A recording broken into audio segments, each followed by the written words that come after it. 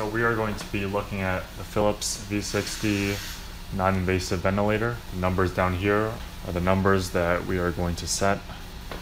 So it is currently in ST mode, which is also BiPAP mode. BiPAP because we have two PAP values.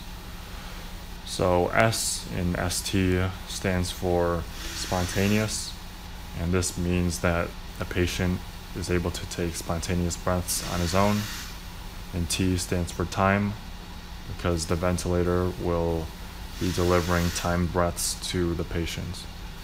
And right now, we've set uh, the rate of breaths to be 10 breaths per minute. And this means that the machine will deliver around one breath every six seconds, no matter what. And each breath has an oxygen concentration of 40%. And then over here, the PAP values. Uh, PAP stands for positive airway pressure.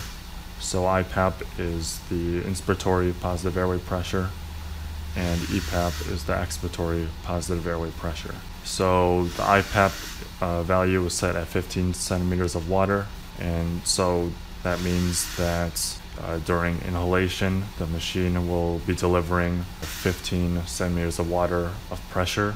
Then EPAP is set at 5 centimeters of water, and this means that at the end of expiration, uh, the machine will maintain a pressure of 5 centimeters of water in the patient and you can see that in the graph over here that the value never reaches zero and that the lowest pressure value is at 5 centimeters of water.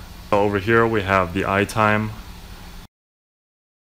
The I time is the time it takes for inspiration and right now it's set at 0.9 seconds. Over here we have the rise and this is the time it takes to go from EPAP to IPAP and the lower the uh, rise value is, you can see that it takes less time to go from EPAP to IPAP because it has a steeper slope.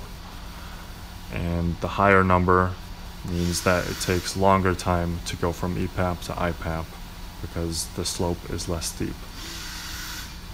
So if you want to pop open more air sacs, we would want to increase the rise time.